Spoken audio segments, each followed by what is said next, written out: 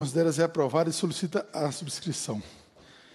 Esta reunião destina a apreciar a matéria constante na pauta e a receber, discutir e votar proposições da comissão. Passa-se a terceira fase da ordem do dia, que compreende o recebimento, discussão e votação da, da comissão.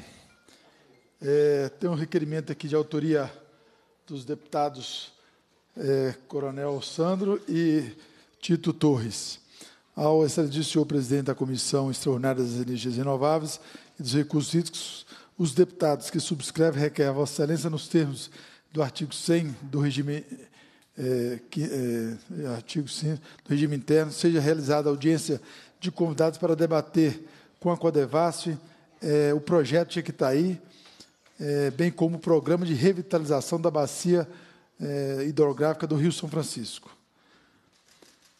ao excelentíssimo senhor presidente da Comissão Extraordinária das Comissões de Energias Renováveis e Hídricos, os deputados que subscrevem requerem no, a Vossa Excelência no artigo, nos termos do artigo 100 do regimento interno, seja realizada audiência de convidados para debater com o presidente da CEMIG, sim, sobre o conceito da empresa criada, com enfoque no planejamento e investimento dela.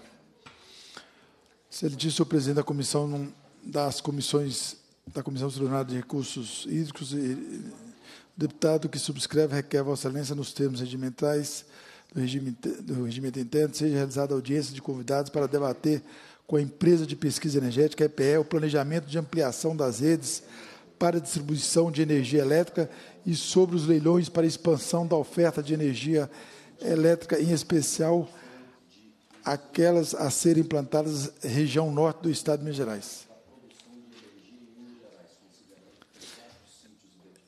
Excelentíssimo senhor presidente da Comissão eh, Extraordinária de Energias Renováveis e Hídricos, os deputados que subscrevem, nos termos do artigo 100 do regimento seja realizada audiência pública do município de Montes Claros para debater com a ANEL a revisão da resolução normativa 482, que trata do sistema de compensação de energia elétrica, o marco regulatório da energia solar e a geração distribuída. Os deputados que subscrevem requerem a Vossa Excelência, nos termos do artigo 100 do regimento interno, seja realizada audiência de convidados para debater com a Copasa sobre os investimentos da companhia na região do Norte e Vale do Jequitinhonha. Os deputados que subscrevem requerem a Vossa Excelência, nos termos regimentais, requer que seja realizada a deliberação, delibera, que seja deliberada a participação dessa comissão na 19ª Conferência Internacional da Tagro, sobre açúcar e etanol, que acontecerá nos dias 28 e 29 de, de outubro em São Paulo. O evento terá como tema principal o etanol como protagonista do setor. Em votação, os requerimentos. Os cada um por sua vez, os deputados que concordam permaneçam como se encontram, aprovado. Com a palavra, o coronel Sandro, para requerimento de sua autoria. Senhor presidente, obrigado. Vou ser breve. É, na semana passada, eu fiz uma visita às usinas nucleares Angra 1, 2 e 3, que está em construção no Rio de Janeiro. No outro dia, foi em quarta e quinta essa, essa atividade, eu visitei o presidente da Comissão Nacional de Energia Nuclear. Bom, a gente já tinha notícia e fomos esclarecidos mais detalhadamente sobre ah, o potencial, as potencialidades brasileiras na produção da energia nuclear e a segurança que se tem nisso, embora haja ainda muito mito e medo que a gente tem que superar. Angra 1 produz energia desde 1982. Não há registro de sequer qualquer incidente. E aquela comunidade lá em volta só tem a terceira elogios e o quanto aquilo foi benéfico para a região. Bom, em 2015 é, a Fundação Getúlio Vargas, a pedido da Eletronuclear, realizou um estudo para identificar sítios no Brasil que comportassem a instalação de novas usinas de energia nuclear.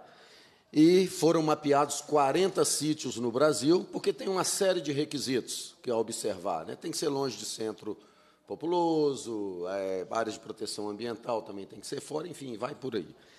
E em Minas Gerais, quatro desses sítios foram identificados.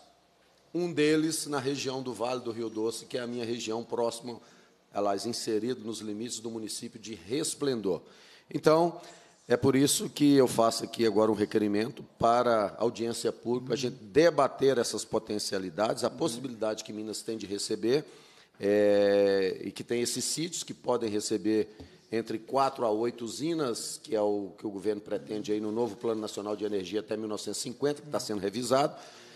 E é um investimento enorme, presidente, algo que pode começar com 20 bilhões e terminar em 50 bilhões e transforma o panorama socioeconômico de qualquer região.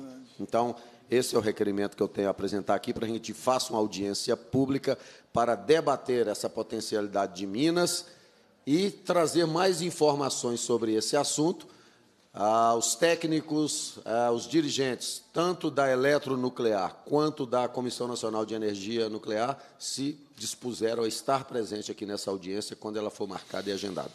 Em discussão, em votação, o requerimento do Coronel Sandro. Os deputados que aprovam permaneçam como se encontra aprovado. Parabéns, Coronel. Nós vamos fazer a audiência, depois passar a relação dos nomes que o senhor queira que a gente possa convidá-los. Tá? Se quiser, assinem okay. comigo o requerimento. Vamos. Tito Torres.